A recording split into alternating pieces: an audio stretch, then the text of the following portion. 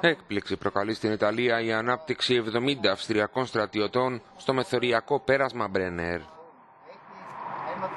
Αποστολή τους να συνδράμουν στο έργο της αστυνομίας. Στο παρελθόν η Αυστρία είχε απειλήσει με κλείσιμο των συνόρων σε περίπτωση που η Ρώμη χορηγούσε σε μετανάστες ταξιδιωτικά έγγραφα για να μεταβούν στην υπόλοιπη Ευρώπη. Σύμφωνα με την Ιταλική πλευρά, καμία έκτακτη κατάσταση δεν υπάρχει στα σύνορα αυτήν την περίοδο, συνεπώς η απόφαση της Βιέννης δεν βασίζεται σε αντικειμενικές ανάγκες.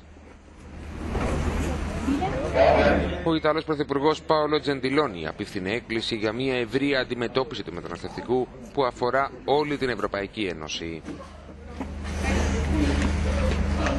Μιλώντας στο Ιταλικό Πρακτορείο Ειδήσεων, ο αρμόδιος επίτροπος Δημήτρης Αβραμόπουλος τόνισε πως η Ευρωπαϊκή Ένωση στηρίζει την Ιταλία και πως υπάρχει στενή συνεργασία προκειμένου να ληφθούν άμεσα συμπληρωματικά μέτρα που αφορούν τις μετεγκαταστάσεις, τους επαναπατρισμούς και τις διαδικασίες ασύλου.